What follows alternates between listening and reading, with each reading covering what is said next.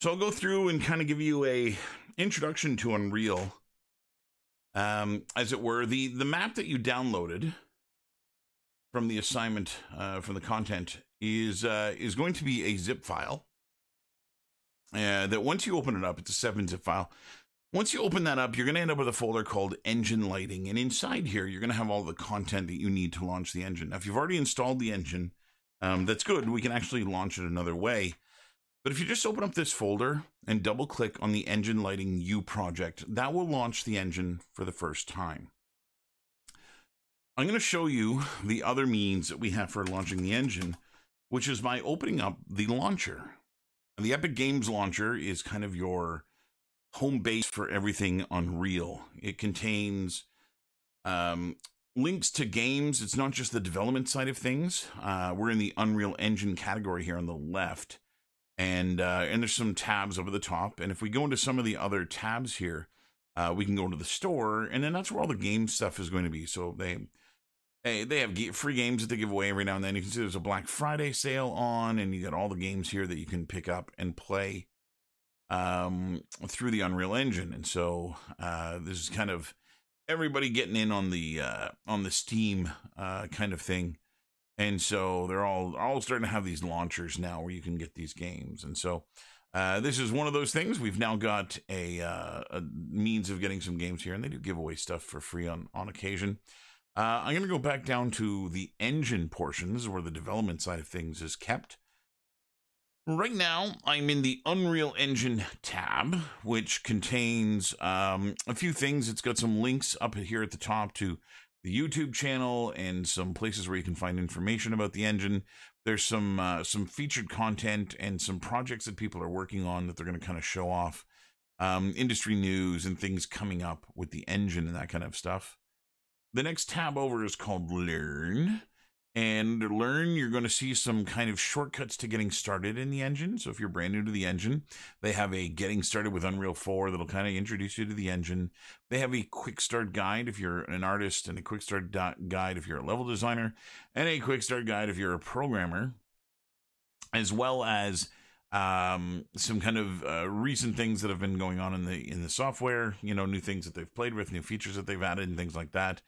And then they've got some uh, engine samples, and these are these are versions of the engine that have uh, have stuff preset up in them for you. Uh, so they've got some. Here's a digital human uh, where they've got you know some uh, 3D character bust that is being rendered with a really high end skin shader and really high end hair shader and really high end eye shader. Um, with some really nice lighting and some camera setups to show you, you know, how, how human they can make things in the engine. Um, there's some, you know, in-camera VFX and some uh, some physics here in the uh, chaos destruction system, and so a lot of things that you can go play with that they use as means of being able to teach you uh, how to use the engine and some of the things that the engine can do. If I scroll back up to the top here, I'm going to go to the next tab over, which is the marketplace. So the marketplace is where you can uh, you can pick up content created by other users, uh, and in some cases actually even created by uh, by people from Epic and uh, and some professionals to get stuff out there. Uh, and these are um, these are files that you can use in your projects. Um, they have everything here from from code and VFX and levels and characters and animations and essentially all all aspects of game design. Um, they're going to have some example files and some files that you can pick up in order to throw them into your game and they they run the gamut of you know from free all the way up to several hundred dollars you know here is a um, a modern loft uh, that somebody has made which is $388 and a penny um, and so they've got kind of all these different level things here. There's always a section that is free for the month, which I try to pick up every month, even if it's something that I don't uh, currently have any use for. You never know when down the road I'm like, oh, go take a look at that and see see what they did inside there. Maybe even reverse engineer it, make my own version of this. Um, and then they have some kind of new releases and discounted things here that you can pick up. And so, any really any kind of game that you want to make, you can find some systems that are pre-built and uh, whatnot to help you along with some of the weaker sides of your development abilities. As I mentioned, there's also content here released by um, by Epic themselves the um, the Paragon game, which is now defunct. Um, all of their content was released inside of that there for free, and so you've got a ton of stuff uh, that is available there. Um, the next tab over is the library, and this is where all of the projects that you've worked on and the engine builds that you have are going to be available to you. So here up at the top, you'll have a list of the engine versions that are currently installed on your machine. You can see I currently only have a single version, which isn't actually the case, but I'll get into that in a minute. Um, I have 4.25.4, which is actually the build that the environment we're working in um, was built. And, uh, well, it wasn't built, but I, I made some changes to it and saved it. And so it has been saved in 4.254. And so that's the version that you will need at least to, uh, to get these things open. Um, you can hit the little plus up here and you can go get yourself new versions of the engine. You see if I hit that, it's going to ask me to install 4.243, which is actually an older version, not something I would want. But I could use the drop down and go pick up, uh, pick any other version here, uh, including a preview uh, to 4.26, which is a uh, an upcoming version. Um, and so you can go check out some of the new features and things like that that are coming out. Below that category, we have a list of my projects. Now, these are the current versions of the engine, the current projects that you've opened up and have been playing with. So you can see I have the content examples here. I also have the digital humans, which is another content example. And then I have some other things that I've made. So I've got from my character classes that I teach, the three different character selection games that I've made. I've got the Turner Made project, which is where I do a lot of my uh, my tutorials and where I show st- if students have questions. Hey, how would you do this? Um, I'll go and I'll just build it in here. It's kind of my test bed of uh, trying out new systems and trying out new things. Um, I've got Splat, which was uh, originally it was going to be a little first person shooter I was making, and uh, and in the end, I ended up uh, I ended up not wanting to do that any further. But I've I've still used this as a kind of test bed for other things could probably get rid of that entire thing. Um, and then over the other one here, this is the one that kind of uh, is is worth mentioning. You'll notice in the bottom right hand corner of each of these little pop ups here, each of these little icons, there is a build number. So 4.25, 4.24, 4.24, and then the rest are all 4.25, except for the first one, which says other. The reason it says other is this is a build of the engine that I've compiled myself. So I've made a branch of 4.25 um, that I, I've grabbed the source code and have started compiling it myself on my end. And so this is so that I can make my own changes to the engine and make my own um, code systems that I can put into place um, without having to manipulate the, the actual engine that is from Unreal. So I've got my own branch that I'm currently working in for this whole this little project here. The next section down is the vault, which is where all of the objects or systems or components that you've purchased from the micro, the uh, marketplace will show up. And what you can do is you can go and click on any one of these things here.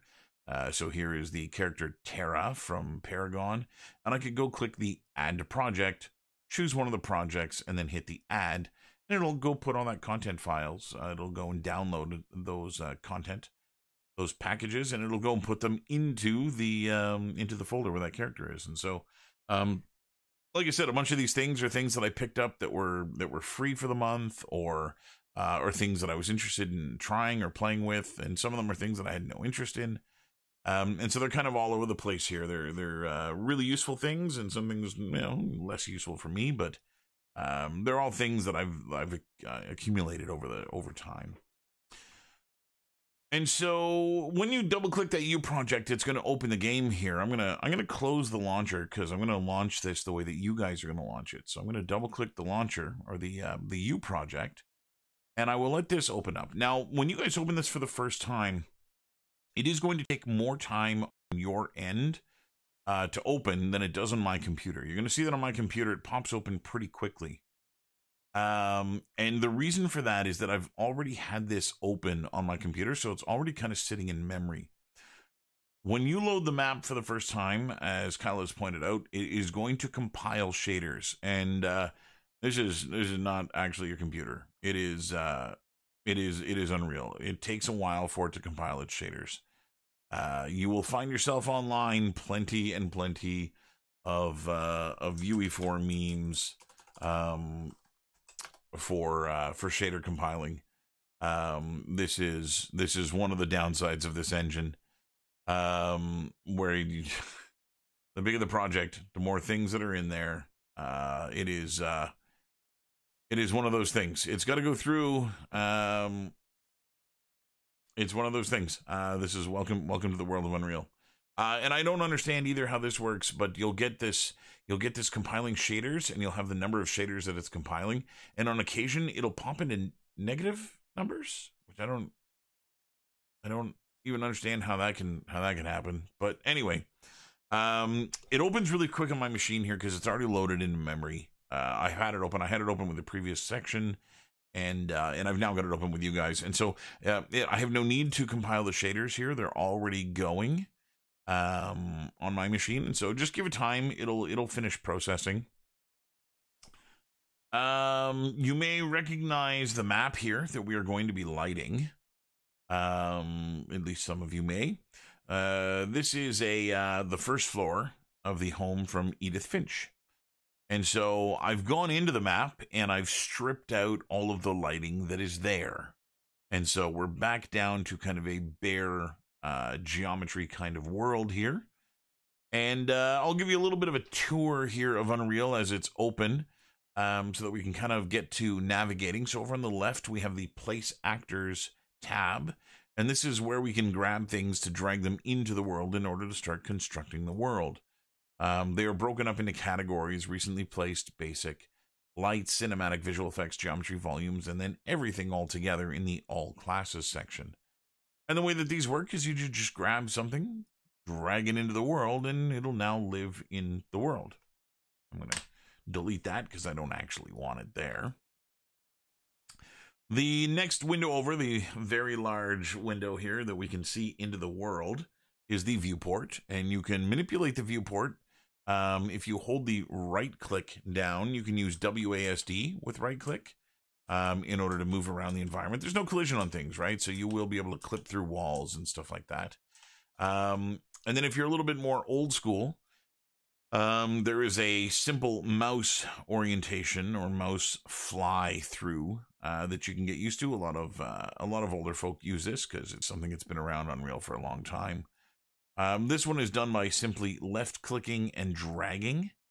Um, and when you left click drag, it'll move your camera through the world. And so I can drag and kind of move it as I go. And then if I add the right click, I can increase the height as I go. And so that's a little bit of a uh, a little bit more of a screwball way of manipulating things. Uh, not a lot of people use that. And so right click WASD will allow you to move around. Trying to angle this here so I'm looking at something darker. There we go. So up in the top left hand corner of the viewport are some settings that are going to allow you to change how things are being rendered in Unreal. Um, we have perspective here. This is the name of the camera that we are currently looking out of. And we can see that we can drop down into top, bottom, left, right, front, and back. And so each one of those is a separate camera that we can look out onto the world. We have our rendering mode. And so I'm currently set to lit. We can also go to unlit, which will remove all lighting from the uh, the environment, so we can actually just see base colors, which is a, a pretty good way of being able to uh, start setting things up if the world is too dark. Um, we can also switch this into wireframe, in which we'll see all of the triangles from the geometry everywhere. Uh, and so on. There's a whole bunch of these things. There's lighting only, there's reflections, player collision, and all that stuff. Uh, we're just going to stick into the uh, lit mode here because we are going to be doing lighting in the engine. And uh, and that's the best place to be able to see the lighting is if we are actually using the lit mode. Now, when I take a look around here, we can see that there is a fair amount of lighting that appears to already be in the engine. Um, and you're going to notice a weird artifact that happens. So I'm going to just move my camera slightly outside the building so I'm looking at the blackness of space. And if I bring the camera back into the building, you're going to notice that it's really hard to see anything. And eventually, the lighting is going to pitch back up until it's bright again. Now, this is a pupillar response that they're uh, imitating here, or a uh, a contracting of the iris to shrink down the pupil or open up the pupil. And so, yeah, no, that is that's what's going to happen, Lucas. You got to just wait for the shaders to compile. Everything will be checker boxed until the shaders are compiled. And so what you're seeing is a uh, a reproduction of what happens with the eyes getting used to the amount of lighting in a in an environment. Um, and this this does make it a really really I mean it is a neat feature to have that, but it really does make it hard to light an environment when the environment is constantly adjusting to the amount of light in the environment. So we're in a room right now without any lights in it. And what the engine is mimicking is because the environment is so dark, your eyes are adjusting to the darkness and it's brightening up the environment to make it look like we can actually see. This is going to be a little bit problematic. And so we're going to go, uh, we're going to need to go and do um, a few things here to kind of get this turned off. Uh, I don't, I don't typically do anything with this system turned on. And so we're going to do a, a little bit of adjustment here to get that back. Uh, but we'll come, we'll come back to that. On the right, I have my world outliner. Now, this indicates to me everything that is in the world currently. Um, there's going to be a huge list of static meshes, which is just about everything that is in this world. Um, I'm going to go and sort these by type here. And we're going to see there's a couple other ones here. So this is a player start. That means that when we play the game, this is where the character will begin. Now, this is not the game um, what what happened to Edith Finch or what uh, what remember the actual name of the game, um, but the, Edith Edith Finch game. This is um, this is actually just the Unreal third person template, and I've brought this content in. So this player start here. This is actually where the player normally starts, and it's embedded in the uh, the table. And I could I could select that and move it around if I want to. Um, the engine won't allow me to spawn in the table, so if I hit play, it'll actually just bump me up to the top of the table um, and then it, will allow me to kind of run around the environment here. And so I can actually um, kind of move around uh, if I wanted to. I'll hit escape to pop back out of there. We don't actually need to do any kind of gameplay anything, but that's what that uh, that's what that player start is for. Um, you can actually even just delete it. Uh, it's not going to be needed for what we're going to do. The other thing that's here that is not a static mesh is called a sphere reflection capture. Now, this is going to be located in the dining room near the really shiny um, uh, light fixture that's in here. And that's actually why this is here. This thing is a very chrome object with a lot of reflections in it. And, and this little reflection capture actor here, what this does is it kind of captures the environment and uses that bit of the environment in the reflection. So if you watch some of the um, some of the the extents of the the geometry here. As I move this, you can kind of see that reflection moving a little bit as this actor captures different parts of the world for its reflection. And so that's why they've got this there. It's a very shiny thing. You can keep that, you can leave that. It doesn't really matter. Will not affect our lighting. I'm going to do most of what I'm going to be doing here to begin with inside of the uh, the kitchen because that is going to be the easiest place to do the things here. Now you notice the panel down below our world outliner. Uh, I've got two panes here. I've got details and world settings. Now world settings are actually a list of all of the settings in the world. So these are kind of global settings for the environment in which we find ourselves. And then we also have the details pane. And the details pane um, gives us all of the current properties or the properties for whatever we currently have selected. So for instance, if I grab this little pot on the table here, I will get properties for the static mesh, which tells me what kind of static mesh it is, what geometry is being used, what material is being used, and then some other settings like physics, collision, and lighting. We have its location, rotation, and scale, so all of these little things that we can play with here.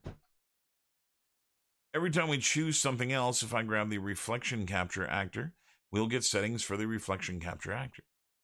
If I select the wall, I'll get settings for the wall. And so all of these are all properties for whatever you currently have selected. Um, and if you happen to select nothing at all, you'll get nothing in your properties. So the first thing I want to do in setting up my lighting here is A, remove that pupillar response or that, that eye adaptation that's going on in the engine. To do that, I'm going to grab, we're going to go into the volumes category here, and I'm going to grab what is called a post-process volume. Now, this is the kind of thing that alters the way the engine is rendering. I'm just going to drag one of these into the world. So click, drag. And I'll let it go in the world here. And it shows up as this little orange cube in the world. Now, this is a collision volume. It is something that it detects whether or not uh, any vertices have gone within its its bounds. And uh, there are two ways that you can use post processing. And what post processing is, is going to do is that every frame that gets rendered in the game engine is going to get processed in some way, whether by playing with its uh, contrast or its lighting or its color value. Uh, you can play with uh, how much color is there and how little color is there. You can play around with the depth of field. There's a lot of things that you can play around with that all happen after each frame is rendered. And you got to be careful with post processing because the more you do, the slower the game actually renders things. Because if you're rendering 60 frames a second, it is going to be applying these effects to frames 60 times every second. And so it can it can actually slow down what you're doing. So you got to be careful with what you do inside of these things. But uh, that is one of the things. Um, uh, that is one of the things that you can do. That's really really cool. Um, you can use these as a volume. So right now it's a cube, and uh, and it'll only work if I'm actually inside of it. So if I bring the camera inside, I would now be uh, getting the effect of what's in the cube. So for instance, if I go to the properties here and I do a search for saturation, and I turn on the global saturation, and I bring its um, its value down to zero, I've completely desaturated the world. But because I'm not inside the cube, we don't see it. When the camera moves inside the cube, you see that now the world's desaturated. And as I move out, it goes back to the way it was. Now you also notice it's not a pop. It is a blend, a fade that happens. And again, we have control over that. This type of setup is really good if you were going to be doing something like a character that dives underwater. Being able to set a post-process volume where your body of water is and changing the way the game is rendering when the character is in the water will kind of allow the player to get immersed in that volume, uh, in in the fact that they are underwater. You know, gives them a little bit more of that um, that immersion. Um, you can also do things that happen like when your character dies, right? The screen turns black and white. You can do that kind of thing as well. because we don't want this thing to affect just this area. I mean, we could make the cube huge and you know make it over the entire environment. Uh, but another thing we could do here, I'm going to keep the desaturation all the way down uh, to to be able to show you how this works. What I'm going to do is I'm going to type in the word bound here, and I'm going to turn on the infinite extent. And this makes sure that the volume here is infinite. So it's not just checking for whether or not the player is inside of this volume, but it just checks to see if the player's anywhere in the world. And since we are, the whole world will now be black and white. So, for instance, if I wanted to do something kind of film noir, you know, let's we're doing a, a murder mystery here, and we want to do it in a kind of '50s era. You know, I could go and uh, let's keep that turned on. Let's kill our search. Um, I now have the ability of making everything black and white. That doesn't really feel. Um, it doesn't really feel um, uh, film noir yet. Um, but I can go into the color grading and I can turn the shadows on. Um, and I can really darken the shadows, right? Give them way more blacks. Um, I can go into the midtones and I can give the midtones even more black. And then I can go into the highlights and we can turn on the highlights and I can play with how bright or dark the highlights are. So I'll pitch those down. And then I can go into the contrast and we can amp up the contrast. And now we start getting something that feels a little bit more film noir. And so by just playing with some of these values here, you can see that you can really change the tone and look of a game. I haven't actually manipulated any textures or anything like that. I'm just playing around with what's there. And when you make changes to any of these things, it can be, uh, again, really hard to remember what type of settings uh, were there originally, right? What what these values were before we changed them.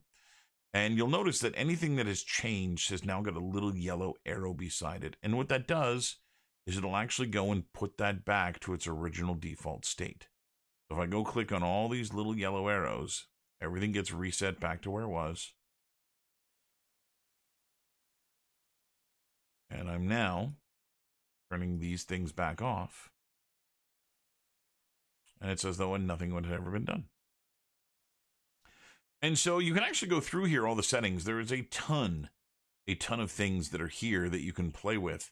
It'll all change the way that this is being rendered from being able to turn up or down certain colors. If you remember when we looked at the uh, Transformers screenshot last week, there was a lot of blues and oranges that were turned up and everything else was really pushed back and desaturated. So you could do that with color correction inside of here. Now, if I head over to the living room and we go and look at the windows, uh, you'll see that there's some, a body of water outside. And if I actually move the camera outside to look, uh, it's really black out here. We're not actually seeing anything. And that's because some of the information that was used to create the sky is gone. It's not actually in the world anymore. And we're going to want to create that stuff. So I'm going to go and create a exponential fight, uh, an exponential height fog. So I'm going to go into the place actors. I'm going to do a search for EXP for exponential. And it's the only thing that comes up. And watch how magic this is to the environment. I'm going to click and drag this into the world. And the second it's in the world, we can actually see a sky. Now, there's all kinds of, of settings on this thing as well for how dense the fog is and what color the fog is and uh, at which distance the fog starts removing. But just dragging this in, we can see that there actually is a lot more of a world out here. And if I go back into the home, you can actually see a lot more of what's going on out there. Now I'm actually still getting the eye adaptation. I can still see it turning on and off here as I go up and down. So I'm going to go back into the kitchen where I left my volume here. And I'm going to do a search for brightness. And I found the exposure settings. And what I want to do is I want to turn both the minimum brightness and the maximum brightness on. And I want to make sure that the minimum brightness is set to 1 so that it doesn't actually brighten anything on its own. You can see that the world just got a whole lot darker. And I'm also going to take the maximum brightness and bring it down to 1. And putting 1 in both of these values will, for the most part, remove that eye adaptation. So now this is not going to change if it gets brighter or darker. This is a little bit more indicative of what we would see, right? If we had a, we were inside of a home that during the day. We can see that it's it's bright enough outside that it's daytime. That you don't actually see any light in the house. It feels like you're in a dark home. Again, a great deal of this is coming from the exponential height fog. And if we turn that off, we can see it actually is darkening the home. Now, when I made my basement that I did, I, did, I added exponential height fog, but I didn't want it to be this blue. If you see far away from the camera here, everything kind of tints towards blue. That's the fog in scattering color. If you take this and you move this more into the orange range, you can actually make it start to look like it's a little bit dusty in the environment. This is because the fog is actually orange and not blue. If you take a look at what that does outside, we start getting something that looks a little bit more like a sunset. I make it blue again, we get blue sky again. So let's look at the different types of lights now that we can use to light the environment. So we have the ability to play with colors and things like that. I'm going to take the exponential height fog here and I'm just going to leave it out on the deck. Um, these some of these assets here, it doesn't matter where you place them. They're they're omnidirectional. It doesn't matter where they go. Um, but in order to keep finding them, in order to know where they are, I will uh, I will typically kind of keep these things in uh, in a place where I can find them. And so I'm going to leave the exponential height fog here outside on the deck. I'm going to head over to the Place Actors tab and I will go to the Light section and I'm going to go and take a look at the lights that are here. We have six different options directional light, point light, spotlight, sorry, five options, a rectangular light, and a skylight. So let's take a look at what each of these things do. I'm going to move outside here again. We're going to start with the directional light.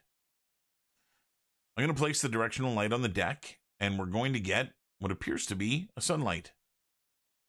So if we go take a look at this here now, we can actually see a icon that looks like a sun and a vector coming from it in white here. This indicates the directionality of the sun. If I wanted to, I can go into rotate.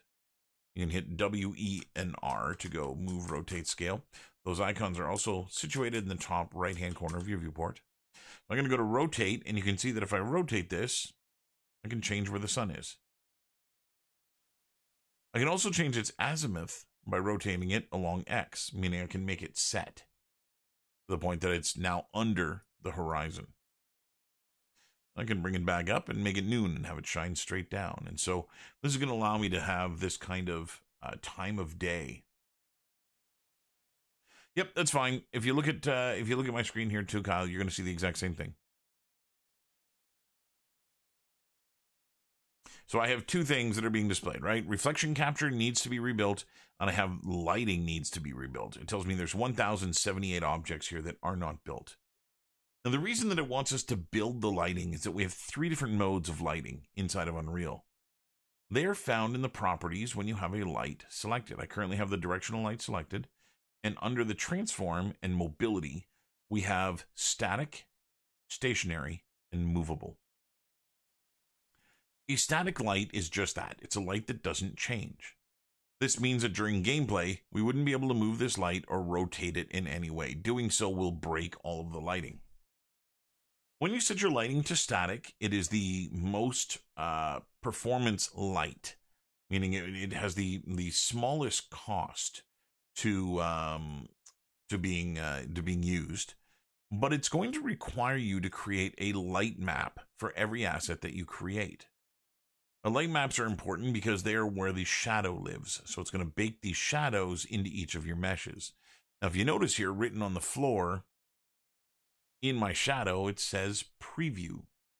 This is an indication that we are just looking at a temporary version of that lighting. We would need to bake the lighting out in order to get something a little bit more uh, realistic and final. And until we do that, we are going to get this error here that it needs to be rebuilt. To get rid of that reflection capture, uh, we can go to the build option and we can go build reflection captures and it'll just take a part of a second here.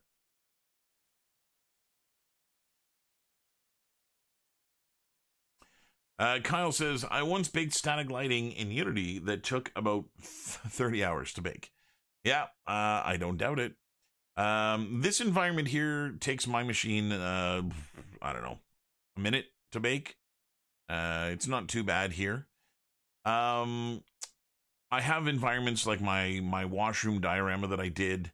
Um, that took me about 17 hours to bake. I've got really high end lighting in there, and I've got a lot of light bounces and things like that, and so it's giving me a far more complex lighting than just a sunlight in here. I didn't actually bake the lighting. Uh, if you notice, it still says preview in here. I'm still in preview mode. All I did was just bake the reflection capture actor, and that was actually just because I moved it. When I move it around, it actually breaks the capture and I got to recapture it again. But since you asked, let's go take a look at baking the lighting. If you go to the build drop down at the top, I can go say build lighting only. Now, granted, I'm in I'm in the uh, pre- preview mode. It's not going to be very um, a very high end render of the lighting, um, but it will it will start up. It's going to start something called Swarm, which is a network um, a network communication tool that will allow you to bake the lighting on multiple computers at once. Um, this is really handy if you're in an environment uh, like a game studio where you can use everybody's machines to bake the lighting. Uh, and there, it's actually it has finished baking the lighting. And uh, what you're going to see, uh, I got an error here that some there's some uh, issues with some of the meshes, but that's okay. We're not dealing with the meshes. Um, but here's now what the lighting looks like. So we're getting a, a little bit more of a completed version of the lighting. And so that wasn't too bad at all. Again, I'm I'm only in preview mode here, so it's not giving me a fantastic bake. Just wait, Lev. Checkerboard means it hasn't finished compiling the materials yet. Just be patient. The other thing that I can do is switch this light to a stationary light. Now, stationary light means that it is going to, again, bake static light maps onto static meshes, but will then interact with dynamic actors. The other option we have is to make it movable. Now, if you look at the difference between static and movable, we're actually going to see that the movable gets a little bit more resolution or a little bit more uh, clear in what it's doing. And that's because this is a, a dynamic light now. This means that uh, it can move at runtime, and it means that all the shadows are going to be updated on the fly. They're not baked at all. So we won't see the word preview here anywhere, and I can rotate the light even just a little bit, and again, it updates all real time. This is a more expensive version of lighting, but it's something that we're totally capable of doing uh, with today's computers and game consoles. And so this is actually the form of lighting I'm going to be using. So the directional light here um, has a directionality, but not a source. So all of the light vectors or all the light rays are all coming along this vector, and they don't come from anywhere in particular. They come from everywhere in the map, and they all shine parallel. This is meant to reproduce what the sun does. While the sun's rays aren't parallel, it is far enough away that by the time they reach Earth, they're pretty close to parallel. And that means that this is going to reproduce what a light source very far away would look like. And so instead of actually making something the size of the sun and as far away as the sun is from us, doing this will kind of reproduce the effect close enough. The other type of lights we have here, I'm going to go back into the home and go find myself a nice little quiet corner here to illustrate the next light. I'm going to grab a point light. Again, I'm going to drag that into my world and you should see right away what a point light does. A point light emanates light from a specific X, Y, and Z position in the map. So here I have a point light. I'm going to make it movable as well because I want all my lights to be dynamic. And you can see I can move this around and we get some pretty neat shadows here moving around the world. I can go and put it under the table, move it back around. And this is going to give us the ability to kind of manipulate how lights work. Now, one of the things that you can do with these lights, I'm going to go over here. I'm going to go and take a walk around. You'll notice that there's a little blue cross here towards the edge of the map. Now, what this is, is it's the outer boundary. It's a giant sphere, and it's the outer boundary of where that light is emanating from. So if I were to, to take a look at this here, all of the light vectors are coming from this XYZ point, and the distance that they're traveling is this 10,000 units. When they hit 10,000 units, they are now worth zero in terms of how bright they are. So this is 0% brightness. And as we move closer to it, we get more and more of that brightness. I can go and change the scale of this. So if you watch down the hallway and I bring the attenuation radius down, you'll see that that blue sphere gets closer to us and as it does, it starts shrinking in how far that light is traveling. And I can make it further so that the light travels more and more and more. This gives us a lot of control over how this light works. Again, I'm going to reset that value. I can also go in and we have intensity. And I can go and play with how bright the light is or how dim the light is. So we can make it just really, really, really dim. And again, we're going to get just a small amount of lighting here. So if I was doing something like a candle, you know, this is a much better way of doing that. I've got the intensity turned way down and I've got the light traveling very, very far, or not very far at all. It's only a couple of meters here. I can also go in and play with the light's color. I can make the light red, or blue, or green, or yellow. And I can even just tint it a little bit, bringing it into a warm range.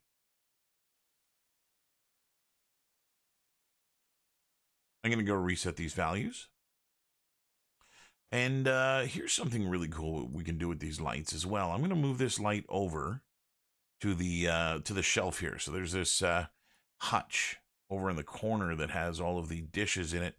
I'm going to put the light inside the hutch, and I'm going to create uh, some LED strip lighting here that is uh, going to show off all the really lovely furniture they've got.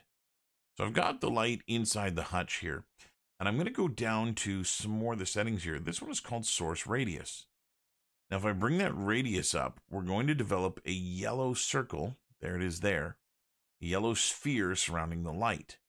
And this is where the light is emanating from. So instead of just a single XYZ point, the light is now emanating from everywhere within this sphere.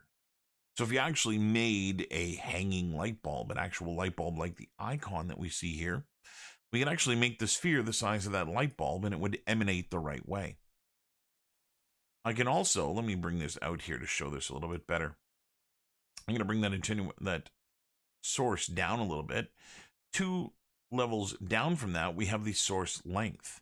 And I can bring this up, and you can see that we can actually make the light bulb a giant tube.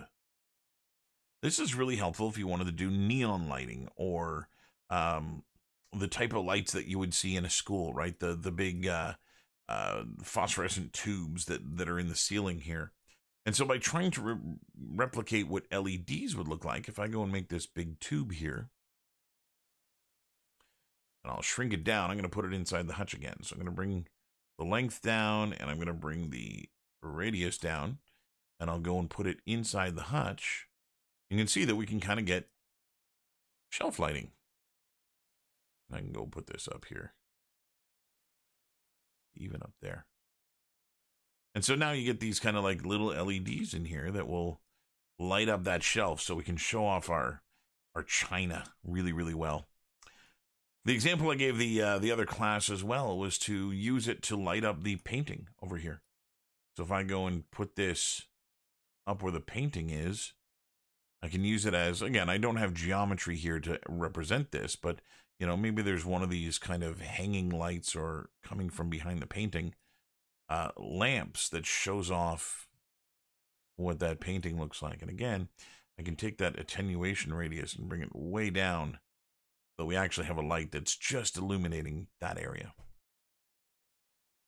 So a lot of really neat things that you can do here with just a point light and being able to control uh, all kinds of uh, of things. You know, there's some lamps in this map, um, and so we could we could always take our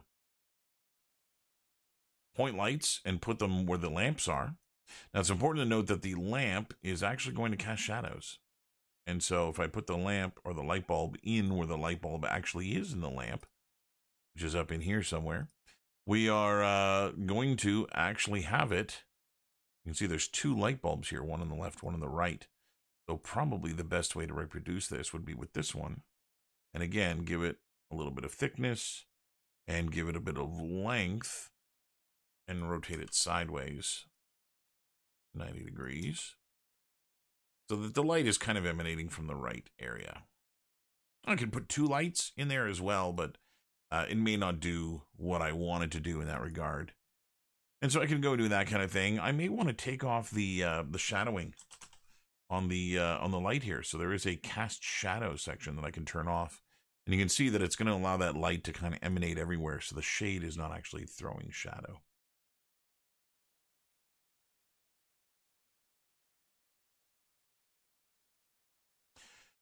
Yeah, Taylor. So, well, this lampshade here doesn't actually have a hole in the top, which is kind of a problem. Uh, and the lampshade is not actually set up in a way to make it glow. And so you have a couple of options uh, when you do this. You can do like I did here and have the light uh, down and inside the lampshade like this, where it's doing its thing. The other thing you could do would actually be to bring it up and kind of above the light a little bit to kind of fake the fact that the light is emanating everywhere from that lamp. Again, it's not a really good design for a lamp to have a completely opaque um, material on it here like this. You know, that's not gonna not gonna do at all what we want it to do. Um, and so you can kind of fake it, and you can see all of these lamps are going to be like that. There's lamps all over the place here. It, it is important to note that you guys don't have to adhere to the geometry. You don't have to put your lights where the lamps are. Um, you can by all means, but remember that you're each going to be given a random theme. And you may not want to actually have all the lights turned on to do your theme. And so you may want to do some other things when it comes to uh, to doing the lamps here to make uh, make them do something a little bit different depending on what, what kind of look you're trying to achieve. And so there you can see I can put on this really kind of warm glow here. If you hit the the G key on your keyboard, it'll enter what's called game mode. And that means it's going to hide all of your icons and show you a little bit of a better rendering here of what your world looks like. And so with that warm light in here, you can see that does a lot for the room in terms of making it feel a little bit more lived in. I like warm lights myself. Anyway, After the point light, we have a spotlight. I'm going to get out of game mode here so we can see the spotlight. I'm going to go bring it in here. And here is a spotlight. So spotlighting is like a point light, but instead of being omnidirectional, meaning the light travels all the way around, the spotlight only has a restricted angle to it. And again, we have the ability to play with that. We have the cone angle that we can play with so we can make it appear like this. Really good if you were doing a flashlight or something of that nature. Pot lights in the ceiling, you know, would also work in this way. If we bring this all the way up to the ceiling here, that's how a pot light would work. It would shine this light down like that. And so we have our attenuation radius. We're also going to have inner cone and outer cone. And so we can play around with those. And the inner cone is going to be where the light is 100%. And outside the outer cone is where it hits zero. So that's kind of our fall off that we get there. So this is going to, all the settings here are identical to the point light. It's just in the shape of a cone instead of omnidirectional like the point light. The next one we have, I'm going to bring this outside to do this. This is a rectangular light. And so I'm going to go up here to the, um, to the building here. And uh, where this window is, is where I'm going to put a rectangular. So I'm going to go drag this out. And uh, if you can see this, it actually makes this rectangle. And I'm just going to rotate it 90 degrees to point it in the window. And I'll try and center it to the window here so that it's in about the right place. I'll move it forward. And these lights are really good for kind of faking the the, the natural light that comes into windows. Um, and so I can go play with the width here and make this about the right width so that it does cover the window. And what's going to happen is inside the house, you're going to see that we have light emanating from that window. So as I move this closer or further here, we can see that that kind of thing is going on. And if I were to go tint this, you know, a little bit in the blue range here, um, we would start getting what feels like, you know, light bouncing off the water coming into the house. And so, you know, you're starting to get kind of bounce light off the water up here. And I would probably bring that uh, attenuation radius down and also the brightness down. Again, it's it's kind of giving you that that effect of, you know, more light coming in the window from outside. And so yeah, there's a few settings on this, which includes the barn door um, barn door is the uh, the angle at which you find the the window point. So it's almost like turning the rectangle into a spotlight. So as that barn door moves, it kind of opens or shuts the barn doors uh, to give you a little bit more or less angle coming out from the light. And again, a lot of the same kind of values that you have here. You can even turn off shadowing if you want. Um, and again, you can make these dynamic or static if you like. Lastly is the skylight. Now I'm going to delete the barn door here. Whoops, that was the window. I'm going to delete the barn door light here because I don't currently want it. And I'm going to go into one of the darker places of the home here very uh, briefly. And what I'm going to add is a skylight. Now, when I do this, it's going to drastically change everything. If I bring this in, you'll notice now that we can actually see everywhere in the home. So what a skylight is, is indirect lighting. This is light that comes from everywhere and is meant to reproduce the bounced light that we get in the world.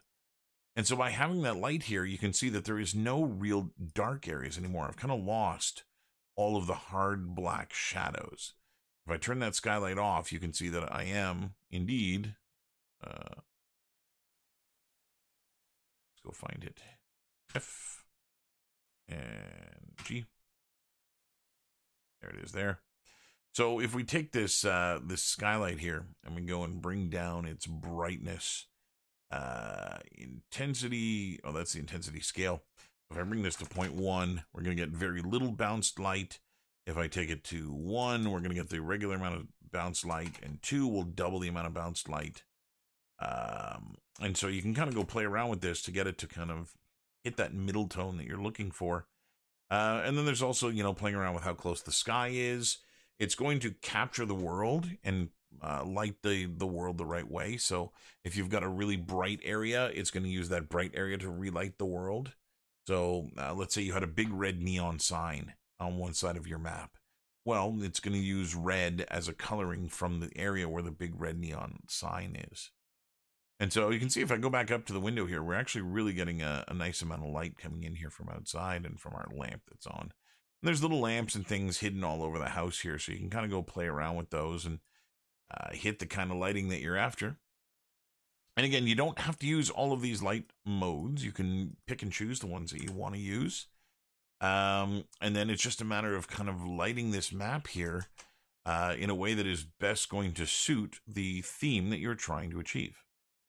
I'm going to bring the sky distance down uh, on this guy a little bit more and bring that back. I really like having, you know, some some areas here that do feel like they are dark. Um, and again, you know, I can bring another point light into the kitchen. Bring it up here to the, maybe up here somewhere. I think there actually is a light in the kitchen here. Why don't we put this in the stove? Ooh, that went the wrong way. That way. So if I go put this kind of under the hood for the stove here, we can make this appear as though it is the right thing. Again, I'll give this a little bit of thickness and a little bit of length. And I will rotate it again 90 degrees. Make sure that it's movable so that I don't have to bake it. And I'll go and tuck it up here. And again, you kind of get the sensation that the overhead light on the stove is turned on. And so, yeah, it's a really neat way of being able to uh, to light the environment here. You can do all sorts of really, really neat things with this. And so those are pretty much all the tools that you're going to need uh, to light this. Um, and then it's just a matter of, of lighting it in, in regards to the theme that you're going to be given. So I'm going to do that now. We're going to go and give you guys your random themes. Um, and then you can go and light the world um, using these tools.